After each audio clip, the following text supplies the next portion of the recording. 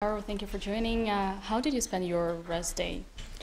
Yeah, I mean, I decided to just study chess uh, rather than playing Title Tuesday or do anything of, of that sort, um, and it clearly paid off as I got something that I that I had looked at quite a bit yesterday, and um, that's all's well that ends well.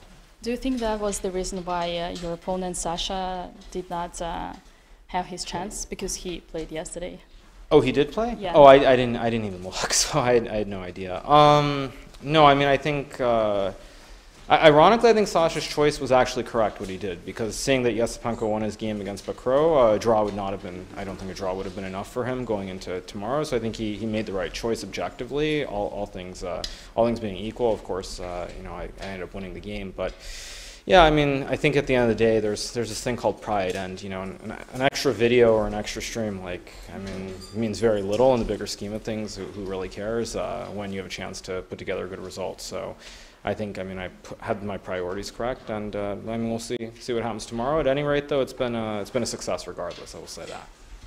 Yesterday, uh, Yuri Lvovich Averbach turned uh, 100 years old. Imagining we are in 2087, you get 100 years old. Do you think Magnus or Gary or you yourself would still be the goat? Um, I mean, I, I think I've said it before. I think Magnus is probably going to be the greatest player ever, and I think in large part that's because the way I see it, I think uh, I think everybody now is so well prepared with computers that I find it hard to believe that uh, anyone will have as big of a margin over, say, Magnus or anyone else uh, 20, 30 years in the future. I mean, personally, I don't think we'll be playing chess professionally. You know, at least not standard chess uh, in, in 20 years. So I think that answers answers the question. Do you see the arrows uh, when playing over the board?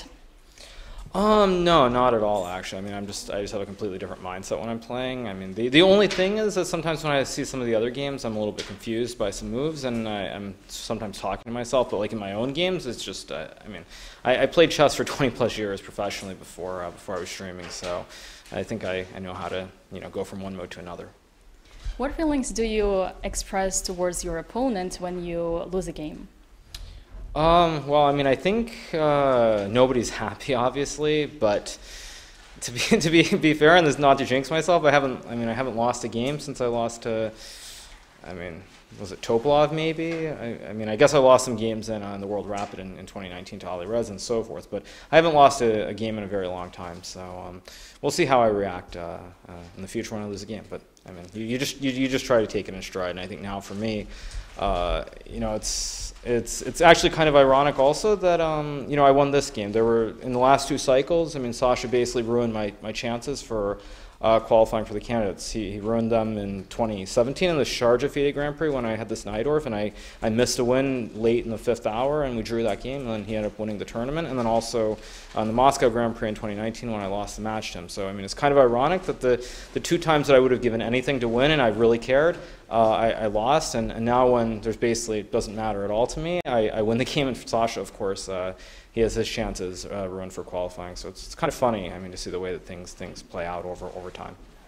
And when you lose a game, oh, when you when you win a game, Um, I mean, it's nice to win games. I mean, more than anything, it's just nice to prove prove to people that, that there really is no difference. I mean, online chess is still the same as over the board. Um, and I mean, there's some people who try to say it wasn't, but all, all I would say to that is just look at who won most of those online tournaments. It was this guy called Magnus, and he seems to be pretty decent um, at over the board chess too. So um, I don't think it's really that surprising, but I do think perhaps my opponents. Um, they're feeling a lot more pressure than I am, and especially tomorrow. I mean, I think Andre has, has all the pressure. I mean, I could win the game, draw the game, lose the game. It Doesn't really change much for me. So it's just I just play and have fun.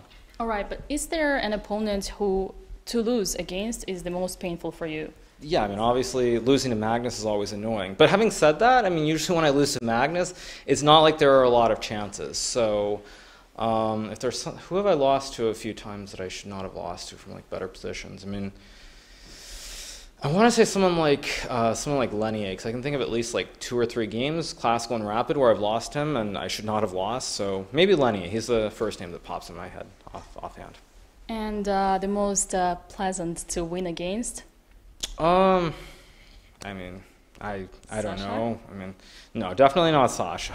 um, maybe I mean maybe Fabiano, maybe Fabiano, maybe Anish. I mean, I haven't played them much in recent times, but maybe one of those two. All right. What advice would you give me if I was trying to uh, win an adoption match against you? Um, you need some kind of odds.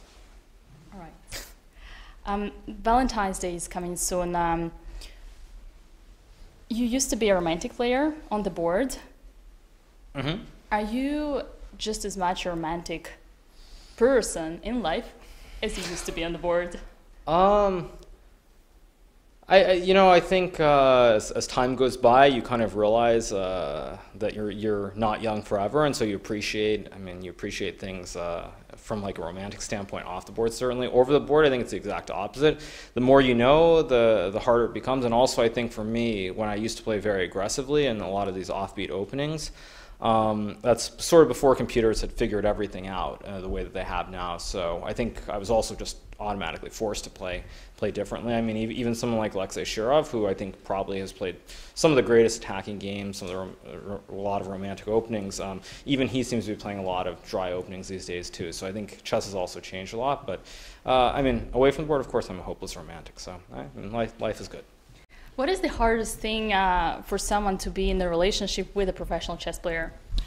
Um, well, I'm glad I'm not a professional chess player anymore because I think the, the worst part is you, you have to travel all the time, and that sucks. Um, I, I think for myself, when I look back over the years, just having to travel, you know, six, seven months a year at least, 200 plus days, um, which of course works out to more than more than seven months. But um, when, when you just look at that, it's uh, it's very tough, obviously, um, because there's a lot of separation. So I think that's the worst part about being a pro chess player. And, and nowadays, I like being at home, so I'm, I'm happy.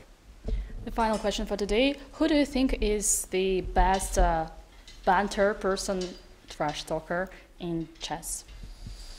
I mean, I think Sasha's obviously up there. Daniil has his moments. Um, I think Sasha's number one, though, by by quite a margin. All right, thank you and good luck for tomorrow. Sure, thanks.